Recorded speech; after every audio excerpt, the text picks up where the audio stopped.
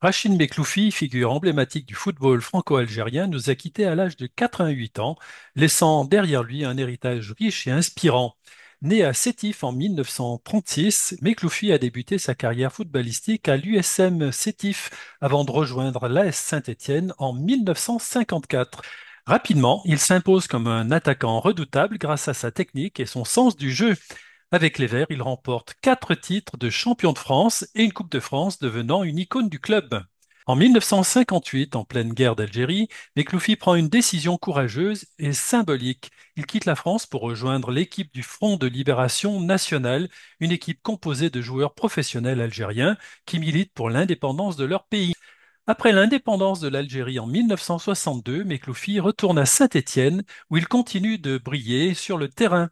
En 1968, il balance un doublé en finale de Coupe de France et offre le titre au vert de Saint-Étienne. Au moment de lui remettre la coupe, le président de Gaulle se dresse face à lui et clame La France, c'est vous. Il se tourne alors vers une carrière d'entraîneur, jouant un rôle clé dans le développement du football en Algérie. Sous sa direction, l'équipe nationale algérienne remporte la médaille d'or aux Jeux africains de 1978 et participe à la Coupe du monde de 1982.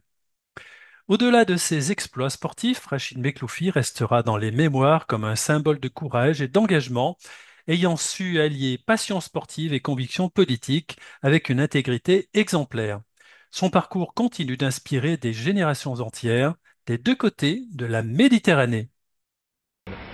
Eh ben, je suis depuis 1954, ici à Saint-Étienne. 12 ans déjà Oui, déjà.